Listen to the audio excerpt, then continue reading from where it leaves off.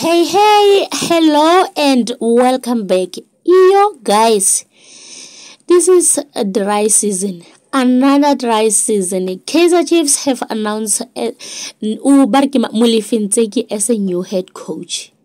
Guys, I have nothing against Molefi Ntseki Mara. Yo, Molefi Ntseki of all people. Come on, like really?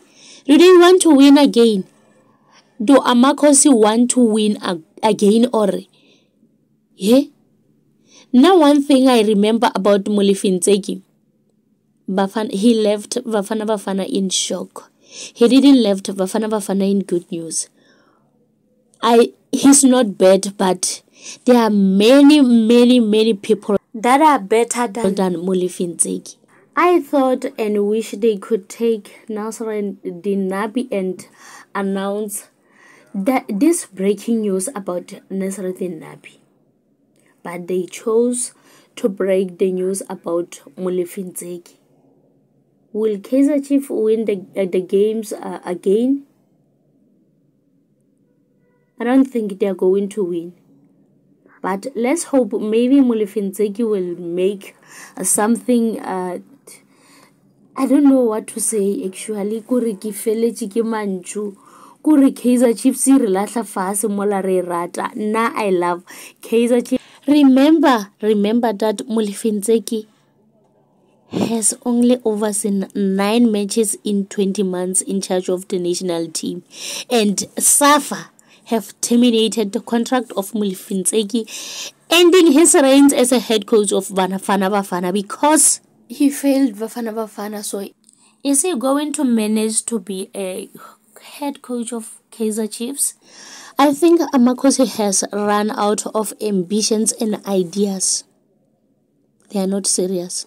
As a Kaizer Chiefs fan, I just uh, I, uh, I, uh, I don't know what to say. I'm I'm hurt. I don't wanna lie. Guys, do you think Molefi Ntseki is going to do the best in Kaizer Chiefs? Do you think we are going to win? Do you think we are going to succeed?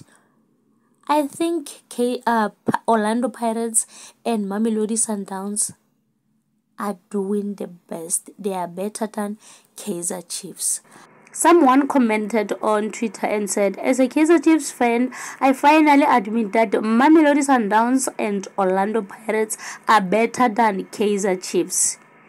Kaizer Chiefs doesn't respect their fans.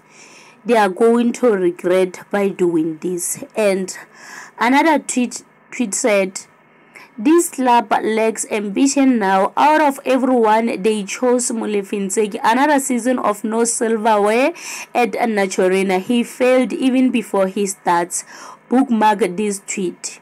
And the last tweet said, Molefi Ntseki never coached a club in his career lasted he lasted nine matches at Bafana Bafana and coached Bafana a World Cup and he's now a head coach of Kaizer Chiefs.